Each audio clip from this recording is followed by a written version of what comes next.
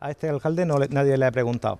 Es decir, si Cartagena alta velocidad, que, tiene que tenemos que formar parte del, nuevo consejo, y yo pienso formar parte de ese, nuevo consejo porque ha cambiado la corporación, pues hasta ahora era el alcalde de la localidad el que decía dónde tenía que ubicarse.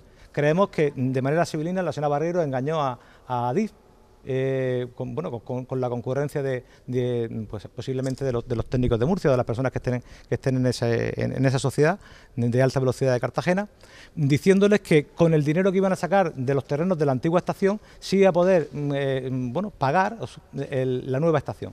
Obviamente nadie le dijo a Adif que esos terrenos están contaminados, que están sin catalogar y que no se van a poder vender porque no son edificables. Ahora mismo no se puede, no se puede edificar ahí. Por lo tanto, bueno, mm, eso ya, se le desmonta de, de entrada. Y después, mm, es que ¿Qué necesidad tiene Cartagena ahora mismo de llevarse la estación a otro sitio? Aparte que es compromiso de, este alcalde y del resto de, la oposición, del Partido Socialista también, que la, estación se quede donde visto Beltrí. Por lo tanto, como nos dijeron en su momento en Adif, que era potestad del alcalde el decir dónde se debía poner la estación, eh, tanto el alcalde como la vicealcaldesa, el equipo de gobierno quiere que la estación se quede donde dicen los cartageneros, que es en el centro. Y si eso supone que no viniera como decía hoy el portavoz del Grupo Popular, que no venga el AVE y tal. No sé si usted cree que eso es... Pues, pues sería una, venganza del Ministerio, porque si son 800 metros los que hay desde el Mandarache hasta la estación de Beltrí, no veo, no veo cuál, es, cuál es la diferencia. Sería simplemente una, venganza del Ministerio del Ministerio de Fomento. Ahora, ¿qué pasará en noviembre en las elecciones nacionales? No sabemos.